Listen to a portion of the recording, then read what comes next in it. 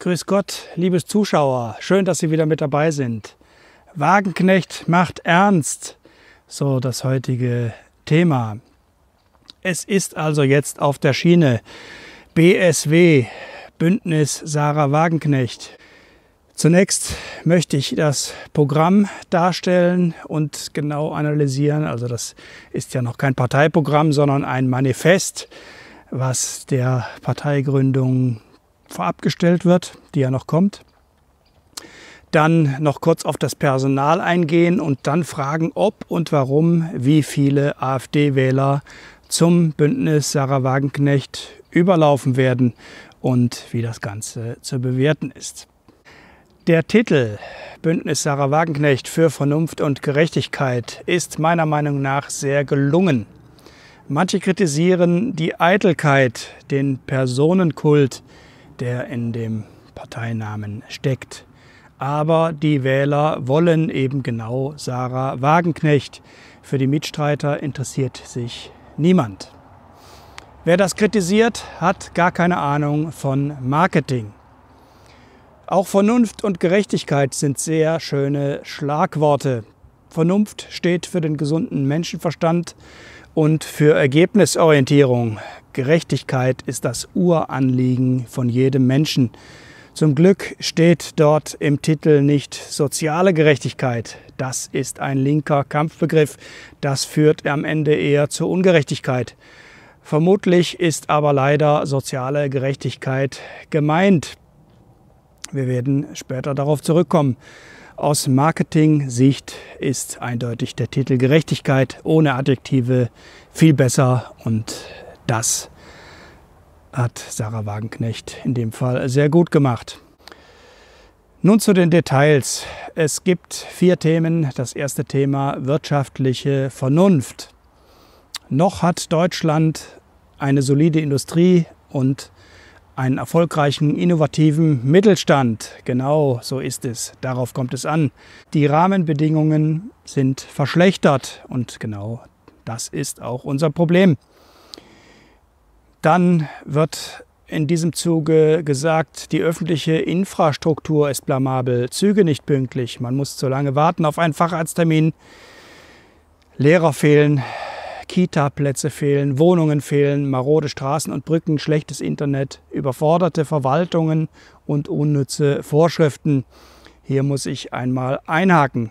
Unnütze Vorschriften? Einverstanden. Aber warum sind diese Vorschriften unnütz und welche Vorschriften sind unnütz? Bei der ganzen Aufzählung sonst entsteht der Eindruck, dass der Staat zu wenig Geld für diese Dinge ausgibt. Aber die Staatsquote ist doch auf Rekordniveau. Die Steuern und Abgaben sind erdrückend. Vorschlag von mir an Frau Wagenknecht. Von jedem Euro, den der Staat insgesamt weniger ausgibt, werden die Belastung der Bürger, also Steuern und Abgaben, um 50 Cent gesenkt und mit den anderen 50 Cent dürfen sie dann oben genannte staatliche Infrastruktur verbessern und darin investieren. Ist das ein Deal?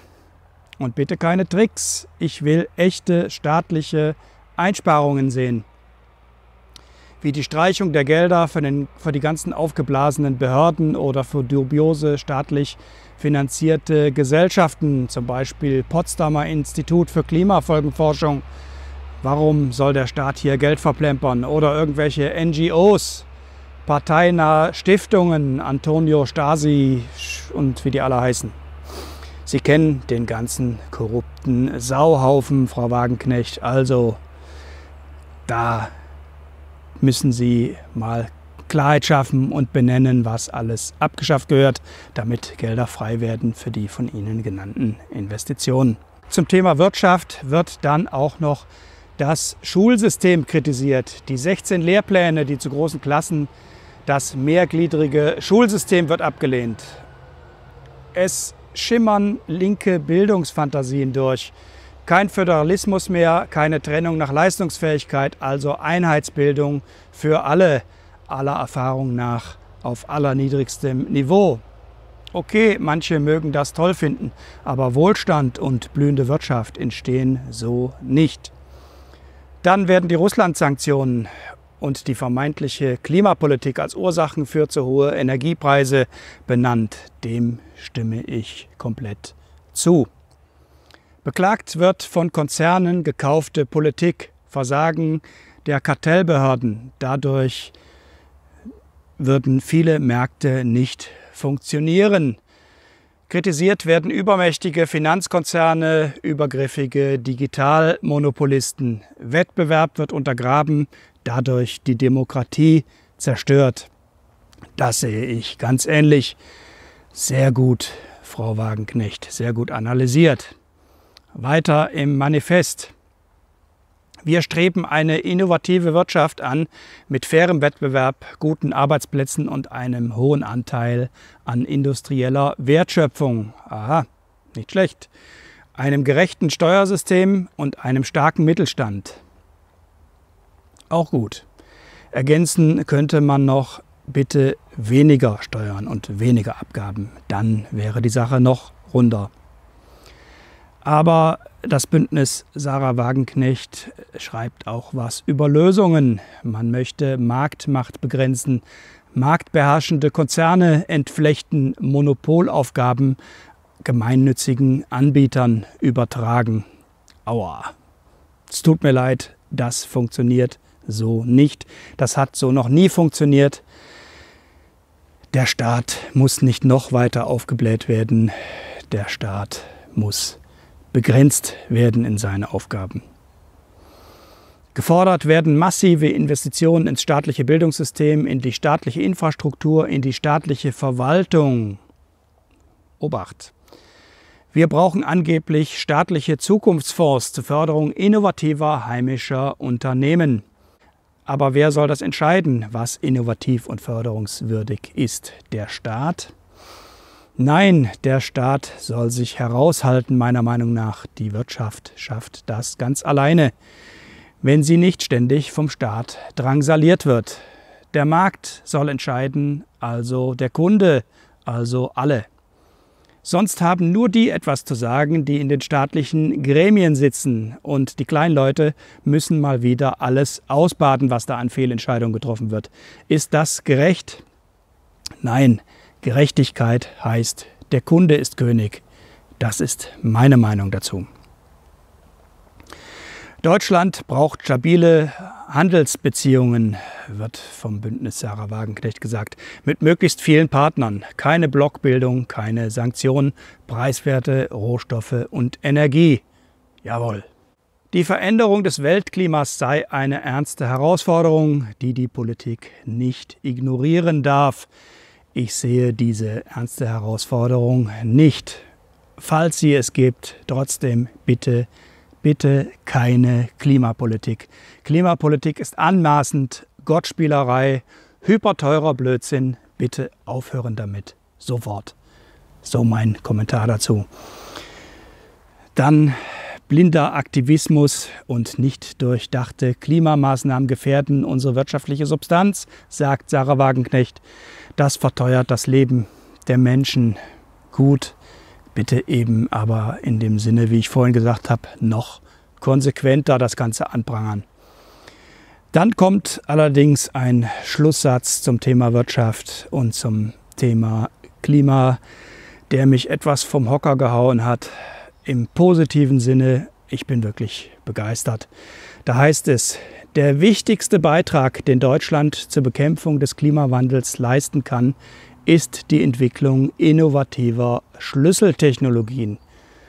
Das wäre doch mal ein ganz neuer Ansatz. Chapeau, Hut ab. Genau das ist es. Anstatt einer Klimapolitik, die darauf hinausläuft, dass wir alle verarmen und am Ende Hunger und Elend entstehen, sollen diejenigen, die an den menschengemachten Klimawandel glauben und auch glauben, dass Menschen hier eingreifen können. Diejenigen sollen investieren oder auch spenden in technische Innovationen, Kernenergie, Fusion, Brennstoffzelle, Wasserstoff, neue Speichertechnologien, jeder wie er möchte, aber bitte ohne Zwang und Gewalt, ohne Staat, ganz freiwillig. Alles andere nenne ich Suizidkommunismus. Im zweiten Kapitel Überschrift Soziale Gerechtigkeit Ich habe es geahnt, dass doch wieder hier soziale Gerechtigkeit steht. Da steht aber wenig Konkretes in dem Kapitel, viel Allgemeinplätze. Mehr Staat schimmert immer wieder durch. Wie gesagt, aus meiner Sicht funktioniert das nicht. Im Kapitel Frieden sind gute Floskeln drin. Die Bundeswehr hat den Auftrag, unser Land zu verteidigen. Für diese Aufgabe muss sie angemessen ausgerüstet sein. Jawohl. Militärisches Vorgehen der USA wird kritisiert. Die USA greifen immer wieder völkerrechtswidrig andere Länder an, so wird hier geklagt. Zuletzt wurden durch diese Aktion der Vereinigten Staaten mehr als eine Million Menschen getötet. Viele Länder fühlen sich daher bedroht und das führt zur Instabilität in der Welt. Die Kritik ist sicherlich berechtigt, allerdings tragen natürlich auch andere zur Instabilität bei. Bündnis Sarah Wagenknecht sagt, unser Ziel ist ein eigenständiges Europa souveräner Demokratien in einer multipolaren Welt. Wir möchten keine neue Blockkonfrontation in der Europa zwischen USA und einem neuen Machtblock um China und Russland zerrieben wird. Das ist wirklich eine ernste Bedrohung für uns. Den Frieden zu erhalten ist keine leichte Aufgabe und wir haben Annalena Baerbock. Mit einer Außenministerin Sarah Wagenknecht würde ich mich deutlich wohler fühlen. Man muss natürlich beachten, dass gute Beziehungen zu den USA am allerwichtigsten sind. Mit dem Stärksten in der Klasse soll man keinen ernsthaften Streit haben. Aber ich glaube, Wagenknecht ist schlau genug, das zu begreifen. Letztes Thema, Freiheit, mein Lieblingsthema. Wir wollen die demokratische Willensbildung wiederbeleben, heißt es im Programm sehr schön. Und dann schon im nächsten Satz, rechtsextreme und rassistische Ideologien lehnen wir ab. Moment mal. Schon im zweiten Satz wird alles wieder zunichte gemacht. Das Problem ist folgendes, ich möchte es einmal erklären. Was ist denn rechtsextrem und was ist rassistisch? Die demokratische Willensbildung wurde ja genau dadurch zerstört, dass man jeden, der die Regierung kritisiert hat, sofort als rechtsextrem und rassistisch gebrandmarkt hat. Zum Beispiel, wer die Massenzuwanderung kritisiert, ist in den Augen der Parteien ein Rassist. Wer die Geldpolitik kritisiert, ist rechtsextrem. Wer solche Keulen verwendet, will keine Debatte, er will gar keine demokratische Willensbildung. Ich habe einen Verdacht. Sarah Wagenknecht will Meinungsfreiheit, stellt sich gegen Cancel Culture, gegen Konformitätsdruck, gegen Reglementierungen der Sprache, wenn es um ihre Meinung geht. Die Meinung anderer von sogenannten Rechten, Konservativen, Liberalen, also zum Beispiel meine Meinung und die von Millionen anderer, soll weiterhin mit aller Härte bekämpft und kriminalisiert werden. Ich bitte um Klarstellung. Meinungsfreiheit ist immer auch die Meinungsfreiheit der Andersdenkenden, der Minderheit, aller Minderheiten. Dazu gehören auch links- und rechtsextremistische Ansichten, was immer das sein soll. Ich selber aus meiner Sicht vertrete immer gemäßigte Standpunkte, aber eben auch alles andere muss erlaubt sein. Anders sind Freiheit und Demokratie nichts wert. Nehmen wir an, jemand äußert sich böswillig abwertend gegenüber Schwarzen, dann habe ich automatisch ein sehr unangenehmes Gefühl, so wie die meisten anderen auch. Derjenige, der sich so geäußert hat, wird automatisch sehr viel Ablehnung erfahren. Und das reicht meiner Ansicht nach völlig aus, dieser Mechanismus. Wenn der entsprechende, der sich da ungeschickt geäußert hat, klug ist, wird er beim nächsten Mal eine angenehmere Wortwahl an den Tag legen. Was aber noch viel verwerflicher ist als eine solche Wortmeldung, ist, wenn jemand hingeht und den Sprecher aufgrund seiner Äußerung als Mensch komplett vernichten will, ihn für alle Zeiten ausgrenzt und seine Ausgrenzung und die menschliche Isolierung fordert, auch von anderen. Das ist viel bösartiger als eine unbedachte Äußerung und das ist genau unser Problem. Zum Thema Migration wird hier auch etwas gesagt. Zuwanderung kann eine Bereicherung sein. Das gilt aber nur, solange der Zuzug begrenzt bleibt, unser Land nicht überfordert wird und die Integration gelingt. Migration ist nicht die Lösung für das Problem der Armut in der Welt.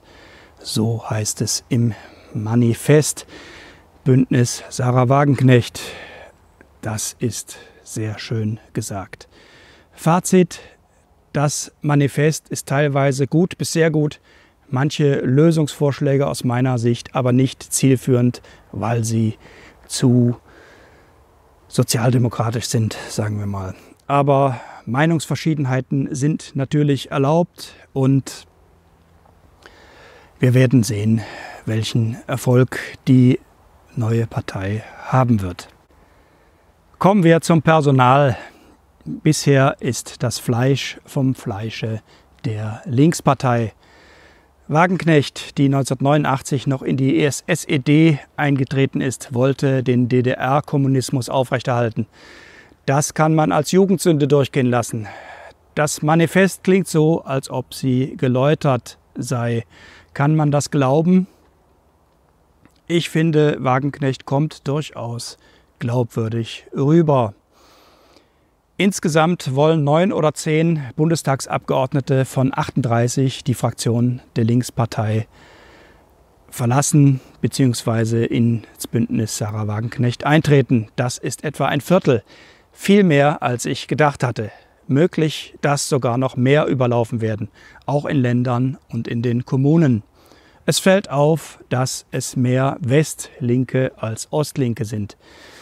Zu erwarten ist, dass mit dem Personal auch die Inhalte und Gepflogenheiten der Linkspartei mitgenommen werden. Insbesondere die Nähe vieler zur Antifa, einer Art SA vergleichbaren Organisation.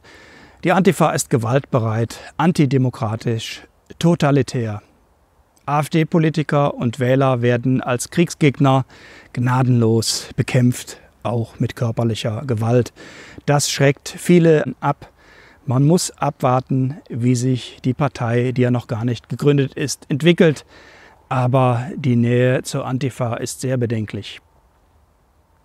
Laut INSA-Umfrage vollzieht sich die Spaltung der Linkspartei nicht in der Wählerschaft. Das ist erstaunlich. INSA halte ich für relativ seriös im Gegensatz zu Allensbach, Forsa oder Forschungsgruppe Wahlen. Es gibt auch eine Erklärung dafür. Wagenknecht wurde zuletzt in der Linkspartei kaltgestellt und die Wähler dieser Richtung sind schon abgewandert zu den Nichtwählern oder eben auch zur AfD.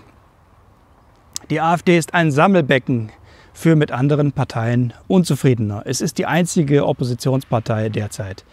Inhaltlich ist die AfD deutlich wirtschaftsliberal, viel liberaler und marktwirtschaftlich orientiert als zum Beispiel die FDP. Ich finde das prima. Das ist auch meiner Ansicht nach der einzige Weg aus der Krise hin wieder zu mehr Wohlstand für alle. Die Wählerschaft ist hingegen sehr vielschichtig. Die AfD ist vermutlich Volkspartei, das heißt, sie enthält Stimmen aus allen Schichten und Denkmustern. Wenn jetzt mit dem Bündnis Sarah Wagenknecht eine weitere Oppositionspartei auftaucht, dann ist es ganz natürlich, dass die AfD einige Prozente an die neue Kraft abgeben muss. Das könnte rund jeder sechste AfD-Wähler sein. Die AfD wird es verschmerzen können. Langfristig sehe ich trotzdem weiteres Wachstum für die AfD. Auch welche, die jetzt zum Bündnis Sarah Wagenknecht wechseln wollen, könnten wieder zurückkehren. Denn das Bündnis Sarah Wagenknecht muss ihre Glaubwürdigkeit nachweisen. Sie muss zeigen, dass es ihr um Inhalte und nicht um Ideologie oder um den Wählern schadende Parteimachtpolitik geht. Maßstab dafür ist die sogenannte Brandmauer. Die AfD wird es natürlich testen. Sie schreibt einfach eine Passage vom Wahlprogramm Bündnis Sarah Wagenknecht ab. Eine Passage, die auch der AfD gefällt, wo man eine Übereinstimmung hat.